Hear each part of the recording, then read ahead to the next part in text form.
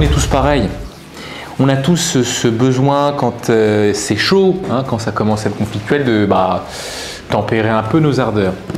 Et vous savez, pour gérer le conflit, moi, une leçon de vie que l'on m'a dit un jour et que j'aimerais vous partager, c'est une phrase toute simple, consiste à dire Gérer un conflit, c'est se gérer soi. C'est tout, bonne journée.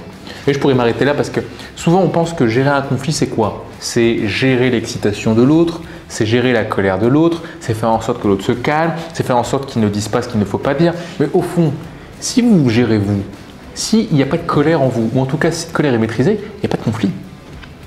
Donc gérer un conflit, et c'est vraiment la leçon que je voulais euh, vous partager aujourd'hui, c'est se gérer soi et être capable de se calmer, être capable de se maîtriser, être capable de raisonner avec le cortex dont on avait parlé plutôt qu'avec le système limbique et reptilien.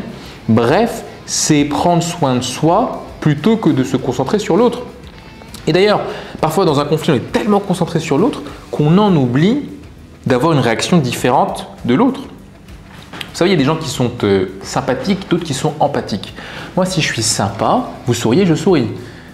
Vous êtes en colère, je suis en colère. Donc je réagis pareil, mimétisme, j'ai pas de personnalité. Mais si je suis empathique, je suis pas comme vous, vous êtes ce que vous êtes, je suis ce que je suis. Mais je vous comprends à distance. Je n'ai pas besoin d'être comme vous.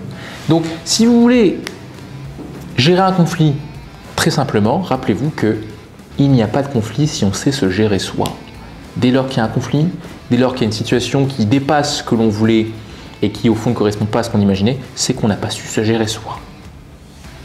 Évitez les conflits en apprenant à vous gérer vous-même et je pense qu'on s'en portera beaucoup mieux. Évidemment, je me l'applique à moi-même pour commencer. Allez, je vous dis à demain pour une prochaine leçon de vie.